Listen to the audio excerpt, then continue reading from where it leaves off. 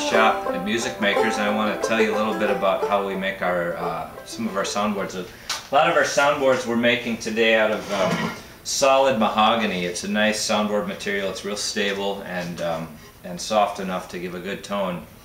And so what we have to do is we have to resaw these. So I thought I'd have uh, uh, Zach help me show you what that is.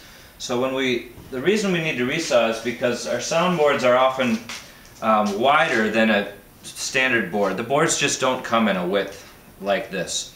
So that's why we do what we call resawing. And, and when I say resawing, what we're going to do is we're going to take this piece and we're going to cut it in half uh, this way so that when it's done, we'll have um, a board that'll open up like this. It'll be a book matched piece and it'll be wide enough to make a soundboard.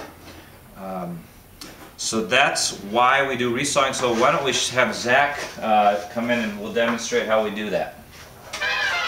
Okay, so Zach's got the bandsaw all set up. If you look at the bandsaw here, we've put a pretty hefty blade on here to do our resawing. It's a it's serious work on this machine here.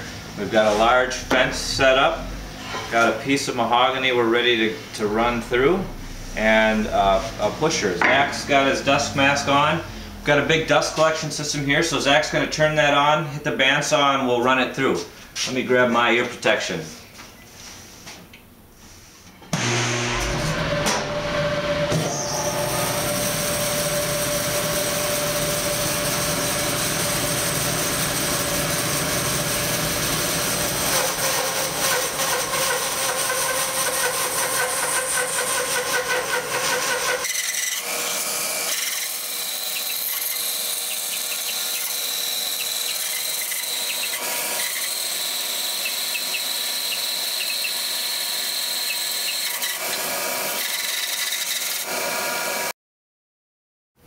And there it is. We got our piece resawed. So now the next step will be to we'll edge glue these pieces together, put some glue in here, glue this together, and then we'll sand it, plane it down to thickness, and, and cut out our soundboard.